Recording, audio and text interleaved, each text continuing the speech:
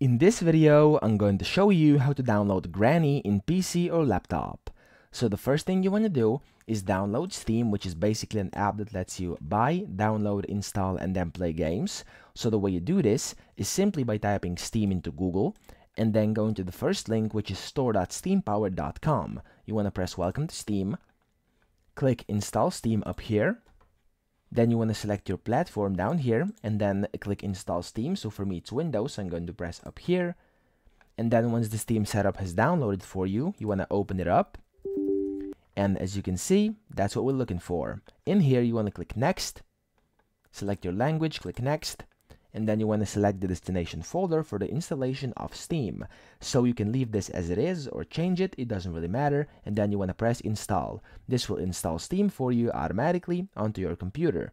Now I have it installed already, as you can see back here, so I'm not going to do it yet again and then once that's installed you want to open it up and either log in or create an account. If you don't have an account simply create one. It will guide you all the way through it and it's very simple to do. Then you want to log in and you'll see the exact same screen I'm at right now. If you're not seeing this screen you want to press store up here on the left and go to the search box here on the right and type in the game we're looking for which in our case is Granny. And you want to click Granny uh, I mean you want to press enter and then in here, you want to click this gear icon up here. You want to click View Unfiltered Search Results. And then uncheck this Hide Ignored Items in case that's checked. And you'll see that the first game is the one we're looking for, and it's the OG Granny game, okay, from 2018. And you want to press it, and then click View Page.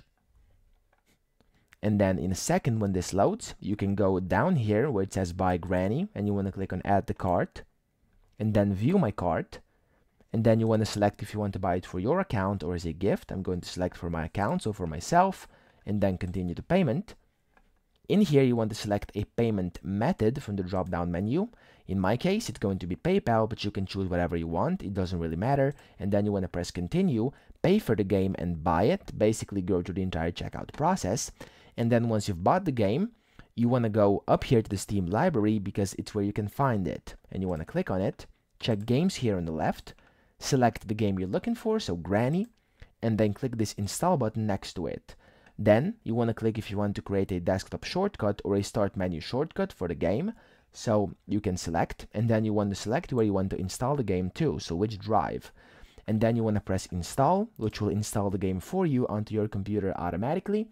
And once that's done installing, you'll get a notification from Steam. Then you want to come back to this screen and you'll see that this install button has been replaced with a big green play button and you want to click on that play button and the game will launch up and you can start playing.